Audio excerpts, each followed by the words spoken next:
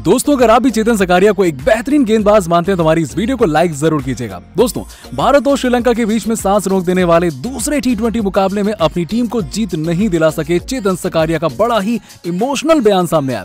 सकारिया ने अपने बयान में एक ऐसी बात कह दी, जिसको सुनकर तो शायद आपके भी आँखों में आँसू आ जाएँगे। चलिए, बताते हैं आपको चेतन सकारिया ने ऐसा क्या कहा। लेकिन उससे पहले आप सभी को क्या लगता है की चेतन सकारिया और दीपक चहर में कौन है बेहतरीन गेंदबाज?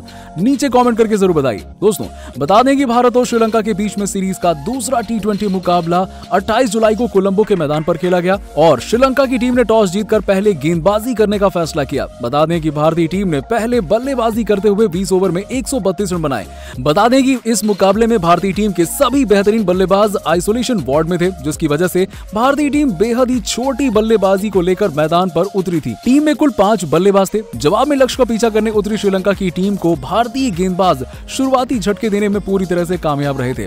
भुवनेश्वर कुमार ने 12 रन के स्कोर पर श्रीलंका को पहला झटका दिया और उसके बाद भारतीय गेंदबाजों का वर्चस्व इस मुकाबले में शीर्ष पर रहा। एक के बाद एक लगातार श्रीलंका के विकेट गेंदबाज गिराते रहे। एक ऐसी स्थिति भी थी जब 104 रन के स्कोर पर ही श्रीलंका की टीम का छठवां विकेट भारतीय गेंदबाजों ने हासिल कर लिया था। इसके बाद ये मुकाबला बेहद ही रोमांचक हो चुका था। श्रीलंका की टीम को दो ओवर में 20 रन जीत के लिए चाहिए थे, लेकिन धनंजय डिसिल्वा ने छक्का मारते हुए भुवनेश्वर कुमार की गेंद पर इस मुकाबले को श्रीलंका की झोली में डाल दिया। अंतिम छह गेंदों में श्रीलंका की टीम को जीत के लिए आठ रनों की ज़रूरत थी, लेकिन चेतन सकारिया टीम को जीत नहीं दिला सके। और दो गेंदों में शेष रहते ही श्रीलंका की टीम ने इस मुकाबले में जीत दर्ज कर ली। इसके बाद युवा गेंदबाज चेतन सकारिया इस मुकाबले के बाद तो बेहद ही इमोशनल दिखाई दिए। बातचीत के दौरान उन्होंने इस बात का खुलासा किया कि वो इस मुकाबले के बाद काफ़ी ज़्यादा दुखी हैं, क्योंकि बरसों के लंबे इंतज़ार के बाद ये उनका सपना पूरा हुआ था जब उन्हें भारतीय टीम की जर्सी मिली थी और ऐसे में वो खुद भी यही चाहते थे कि भारतीय टीम के लिए शानदार प्रदर्शन करते हुए अपनी टीम को इस मुकाबले में जीत दिलाएँ,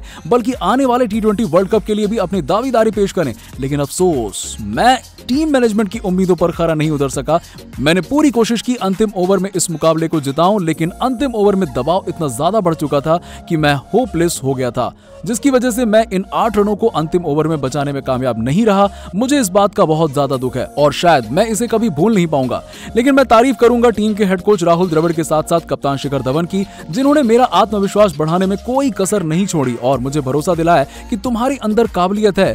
तुम अगले मुकाबले में ज़रूर बढ़िया करके दिखाओगे और टीम की उम्मीदों पर खरा उतर के दिखाओगे। लेकिन अब मेरी कोशिश यही रहेगी कि मैं होने वाले तीसरे मुकाबले में हर मुमकिन कोशिश करूँ, जिसकी वजह से हमारी टीम ना सिर्फ़ इस मुकाबले को जीते, बल्कि टी सीरीज़ का खिताब भी अपने नाम करे। वैसे दोस्तों, आप सभी को क्या लगता है कि होने वाले तीसरे टी मुकाबले को कौन सी टीम जीतेगी? भारत या फिर श्रीलंका? इस बात का जवाब हमें नीचे कॉमेंट सेक्शन में ज़रूर दीजिएगा। और ऐसी ही खबरों के लिए सब्सक्राइब कीजिए हमारे यूट्यूब चैनल को। धन्यवाद।